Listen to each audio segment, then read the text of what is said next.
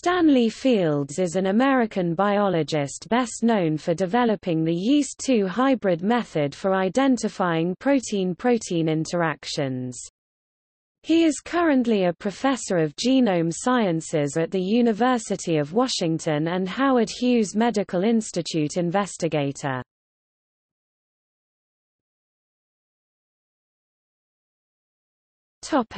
Education Fields was educated at the University of Cambridge where he was awarded a Doctor of Philosophy in 1981 for research carried out in the Laboratory of Molecular Biology LMB with Greg Winter and George Brownlee.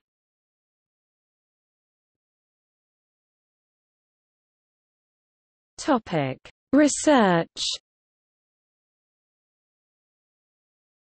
Along with Matt Kaeberlein and Brian Kennedy, Fields has carried out genome-wide screens for aging genes in yeast. Kaeberlein and co-workers have questioned the hypothesis that lifespan extension from caloric restriction is mediated by sirtuins. Instead Kaeberlein, Fields, and Kennedy have proposed that caloric restriction increases lifespan by decreasing the activity of the target of rapamycin kinase.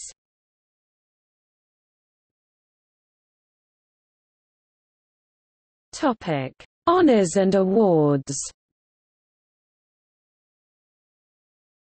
2003 Jacob Heskel Gabbay Award in Biotechnology and Medicine jointly with Roger Brent